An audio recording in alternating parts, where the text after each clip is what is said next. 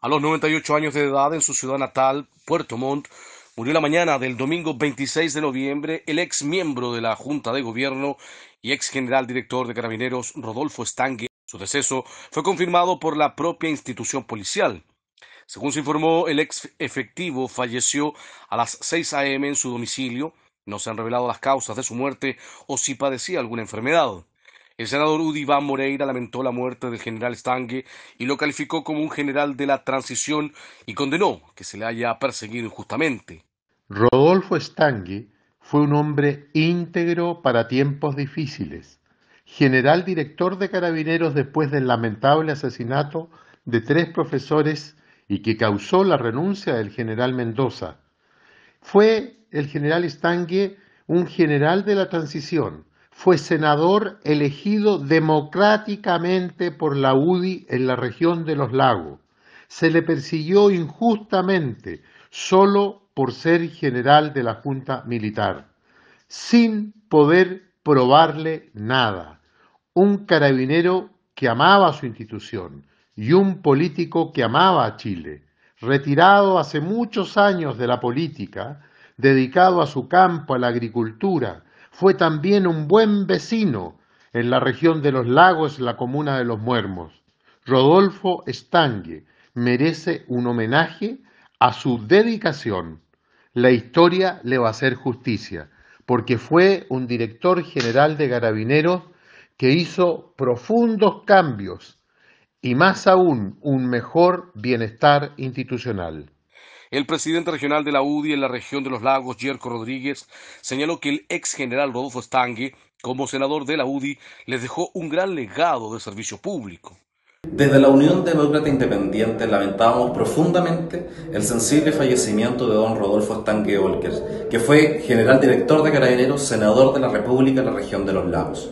Nosotros como UDI le enviamos un, saludo muy fraternal a su familia y también a su institución, a Carabineros de Chile, ya que fue por largos años director general de, de esa institución tan querida por todos los ciudadanos. Él fue militante nuestro de la UDI y nos dejó un gran legado de servicio público. Por eso es que le enviamos un afectuoso saludo tanto a su familia como también a Carabineros de Chile por este sensible fallecimiento. En una de sus últimas entrevistas, el ex general Rodolfo Stange realizó un pequeño recorrido de su historia donde recordó su paso por el Liceo de Hombres y el Instituto Alemán de Puerto Montt. Empecé los primeros años en el colegio alemán, era lógico. Y después del segundo año de humanidades, sea, al liceo, que era mixto. Por eso digo que era liceo. Después fue, es ahora liceo de hombres, porque hay un de niñas. Por lo tanto, terminé mis estudios de humanidades en el liceo de Puerto Montt. Muy orgulloso de haber pertenecido a esas generaciones de estudiantes que pudimos disfrutar de juventud, pudimos disfrutar de niñez, supimos lo que eran los juegos infantiles, pero sí también supimos y experimentamos lo que iba a ser después, para qué nos estábamos preparando. Y eso lo tenía que hacer con el mayor énfasis posible. Stange también recordó su largo recorrido para llegar al cargo de general de director de carabineros. Cuando ya llevaba un par de años de, de general, hasta ser subdirector con cinco años de general y dos años después general director. O sea, cumplí todo con el debido tiempo para ir asimilando, proyectando, instruyendo, formando como debe ser lo que uno quería que fuera dentro de la institución. Stange, en esta, una de las últimas entrevistas que concedió, también se refirió a su paso por el Senado, donde fue elegido democráticamente en la circunscripción 17 de la región de los lagos entre 1998 y el año 2006. Yo me lo imaginaba distinto. Yo pensé, al salir elegido, a lo mejor voy a tener que hacer un curso para saber de qué se va a hablar en el Congreso. Eso quizás sería necesario.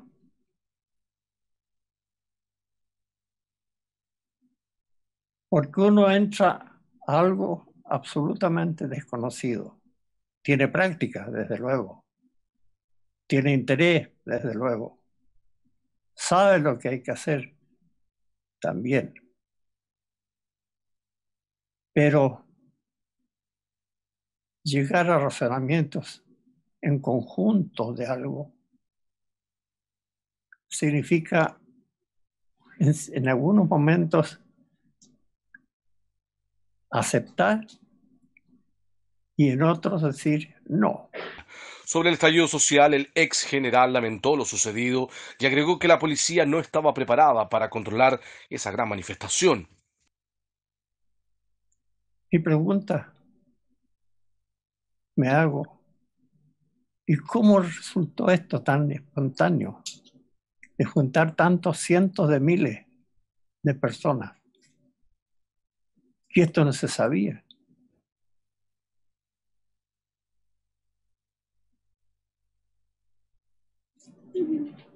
y enfrentar algo organizado con pocos carabineros, porque era una manifestación pacífica. Y de pronto tener que improvisar para contrarrestar desmanes graves. Entonces algo, algo insólito, que uno tiene que meditar mucho para entender. En una de sus últimas entrevistas, el ex general Stange también se refirió a la suspensión de la decisión de rebautizar la Academia de Ciencias Policiales con su nombre, a propósito de la polémica generada en torno a ese tema. No está, no era por por salir a la prensa, que diga mi nombre. No, no, no. Hubiese sido bonito, hubiese sido alentador quizás para muchos.